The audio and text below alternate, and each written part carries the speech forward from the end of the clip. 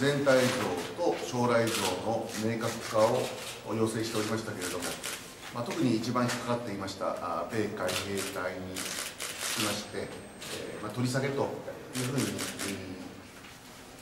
言われたことについて、え、重く受け止めたいと思いますが、まあ、いずれにいたしましても今日お話を伺いましたのであのしっかりと精査をさせていただきたいというふうに思っています。精査をして、えー、結論というか、まあ、検討を始めるかどうか。返答はいつくらいまでにされるちょっとですね、まだあの今日お話を伺ったばかりなので、えーまあ、お時間をいただきたいなと思います。あの特にですね、えー、私、あの時にも外務の方に、取り下げという時にですね、あのそれを切り離し、切り離しということで、えそれはまた別途あるのかという何か残ってるのかということについてお伺いしたらそうではないということをおっしゃっていただきました。あで、えー、それはまたあの本当にあの竹波のフラットなところでというお話もありましたしもし、え次にお話があるときにはあそれについてはまた改めて、えー、沖縄の全体の負担軽減で、えー、知事とも話をしてと。いうところもありましたので、基本的にそれは取り下げだと、もう残っているものはもう私はゼロだというふうに認識したわけですけれども、まあ、大臣の発言、非常に重いと思いますけれども、まあ、こういったことについて、えー、しっかりあの精査をして、えーまあ、これだけではありませんので、えー、しっかりとその本当に気の同じことを指しているのかどうかとか、そういったところの精査をさせていただきたいと思います。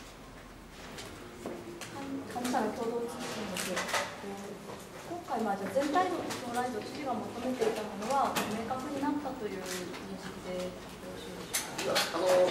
私にとっては、その米海兵隊が非常にあの大きなあ思いあの、特にあの選挙中からずっといろんな方々からあの米軍についてのお尋ね、不安、そういったものをいただいておりましたので、えー、大きな意味がそこについてはあったわけですけれども、まあ、今日も若干お話しさせていただきましたけれども、その30ヘクタールが具体そのどこなのかとかですね、まあ、配置計画図とか、あそれからあの上昇した後のルートだとか、まあ、そういったところもまだようわからんなというところもありますので、まあ、それはさらに明確化を求めていきたいというふうに思います。検討は開始されますか？あ検討というか、まずはこの今回の今日大臣からお言葉をいいただいて私がお返ししてそこのやり取りを一回精査させていただいてそそこが本当に同じことを指しているかということのすり合わせをこれは自分的にもやらせていただいて、まあ、その上でだと思います各社さんお願いします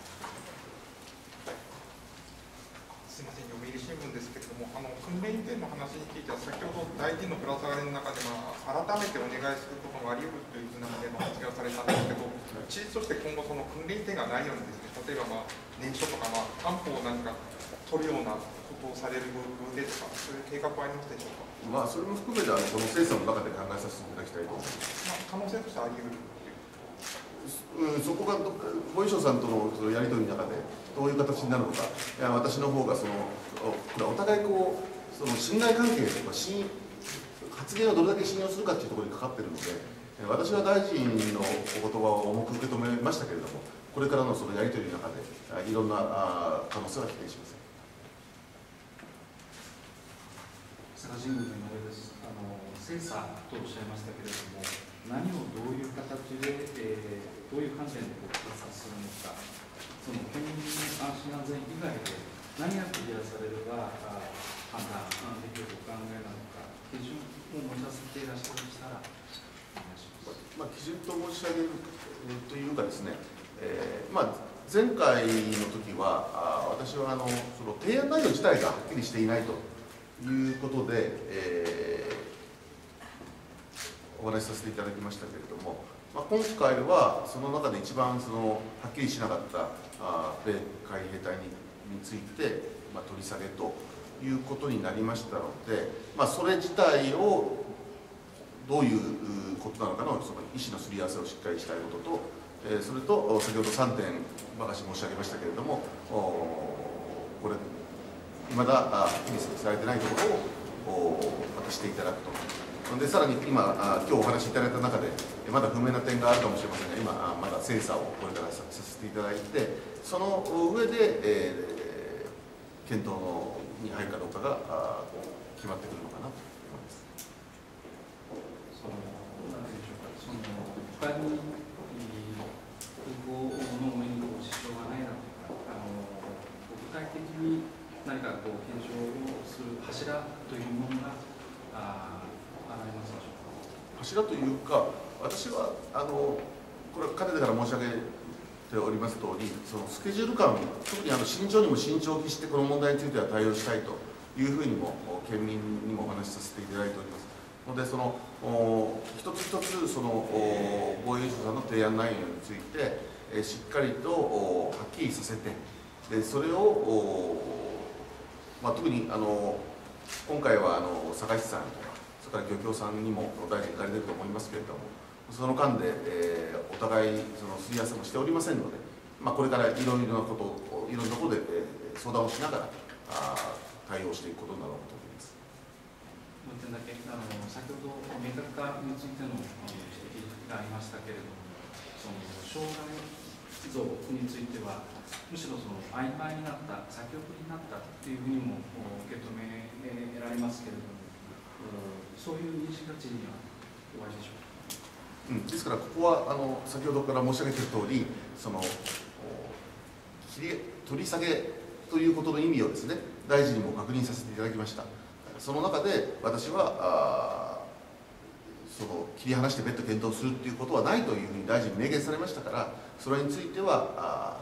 ゼロになった。でこれからあ他県並びで沖縄の経験負担負担軽減の観点からあーまた別途お話があるかもしれませんけれどもそれは本当にフラットの中でゼロゼロベースの中からというふうに理解しましたけれどもそれについてはこれからあー精査する事務的なけ、えー精査も含めて、えー防衛省さんとお話を、おえー誤解のないようにしていきたい。そういうふうに。すみません、えっと、民間空港の利用に関しては、あの今後あの、増便してもですね、あの支障はないという考え方を示されましたけれども、その点についてどのように評価されますか。そうですね、それは今回、これこれは川島局長の方でしたから、再度、民間機を優先すると、で小型機もというふうな話が改めてありましたから、まあ、それについては、あまあ、しっかりと受け止めさせていただきたいと、これもあのそれこそしっかり提供させていただいたと思います。それは評価する、支障がないというふうに知事の考えということでしょうか。防衛省の考え通り。まあ、そこも含めて、まあ、これから精査しますけれども、あのどの程度のその便数の問題も今日お話しされておりましたけれども、えー私の中ではあそうしたあ検討もしておりませんので、えーまあ、全体的に見て、えーどうなのかということだと思います。それとオーストラリアの機体そのものに結あの行動的な結果がないということも言われてましたけれども、その点についての評価というのは私はやはりあのこれももう県民の皆さんからよく聞くことですけれどもあのハワイが何だったのかとハワイの事故はという話をお受けたまりますでこれもあの防衛省さんの方に早急な説明を求めているところですけれども、まあ、まだあの米軍の方から話がないという。ことなのでただ今日はそのお速やかに求めて、えー話があればすぐに連絡いただけるということでありましたのでそれをお待ちしたいと思いますまあ、特にこれは安全のお問題でありますから、まあ、この問題はあぜひともお防衛力の方で、えーきちんと説明責任を果たしていただくことが大事だと思います。あすみません、よろしいですか？NHK です。はい。精査というあのおされてるんですけど、まあ、この、まあ、精査をしてですね、まあ、要するに合わないということであれば、まあ、精査が終わった後にその受け入れるか受け入れないかのそういう検討とか議論を始めるということですか。それとも精査というのはそのものを指していますか？いや精査というのはその提案内容を明確にする作業の一環のことでありまして、えー今日はその具体的な説明が大臣などからあったわけですけれどもそこについて、えーしっかりすり合わせをしておく必要があるといるからです。もう一つあの大臣がですね、あの議長に会われた後にぶら下がりの中で、まあこれまでその三つの提案をしてきたうちでその米韓への話をまあ切り離し二つになると。でまあ今日がスタートだというふうなことを言われていたんですけども、それに関しては知事はそのまあ今日どういうふうな位置づけで今考えていらっしゃいますか？そうですね、まあ、これまではあの無色透明という意味で白紙だという話をさせていただきましたけど、まあ、今日はあの特にあの大きなあ我々にとって関心事になった米海兵隊について、えー、の一定のお話がありましたので、まあ、私とするとこれから真摯に迎えようかなというふうによろしいでしょうか？すみません、話みたいです。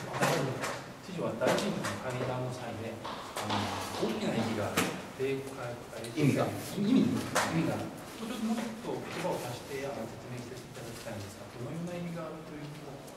結局ですね、あの全体像、将来像という意味でも、やっぱ米軍の存在というのは非常にあの我々にとって不安な要素が大きかったわけです。ですから、あこれがあ訓練点があるということになると、それについてあの詳細な説明を細部にわたっていろいろこれからあ求めなければいけない状況なんですけれども、これがすっかりと今回なくなったということでありますので、えー、まあ、残りの2点についての検討を進めるという意味で、えー、意義があると思いますし、私はあもちろん今回もまだ将来わからないではないかという意見もあるかもしれませんけれども、私はまあ防衛大臣がこうやって、えー、特に、えー、今日は公開の中で、えー、私の議論をさせていただいて、えー、ああいう発言をいただいたので、さすがに私はそういうふうな大臣の発言は重いものだということを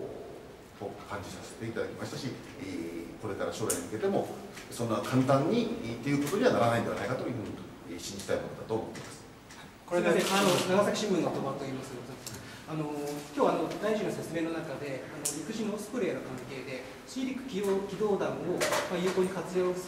するためには、まあ、ここに置かなくてはいけないという話があったと思うんですけれども次に北部九州としてその軍事拠点化というかそういうふうに見られていることについて知事としてはどのように受け止めていらっしゃいますかまあ、軍事拠点化という言葉がいいかどうかは別として、まあ、私は今日も申し上げましたけれどあの国防ということに関して、自衛隊が大きな役割を果たしているということはしっかり考えておりますしそれは九州としてもですね、まあ、それぞれが一定の役割を果たさなければならないものだというのは常日頃から思っていると思います。それで、はい、出てないです。もう最後です。あの政府は今日あの沖縄の方で辺野古の問題等に着手しています。このことに対する所感をお願いします。まあちょっと私それに対して、えー、今コメントできませんけれども、まあ、本当にあの沖縄の問題についてもですね、まあ、お互いがあの話し合いながらですね、えー、いろいろ結論に向けてそのプロセスを大事にしながら進んでいただきたいものと思っております。以上でお願いします。白紙というもともとおっしゃった白紙はもう今白紙ではなくなったというその白紙って非常にあの前はあの私無色透明という意味での白紙という意味であの申し上げておりましたけれどもそのまだそれは何も聞いてないからだという意味だったんですけれども今回はまあそういう意味では無色ではないわけですけれどもそのじゃああの受け入れをするのかどうかという結論が出たのかという意味からすると白紙であります。ですからこの白い紙という言葉の意味で非常に難しいわけですけれどもあの、まあ、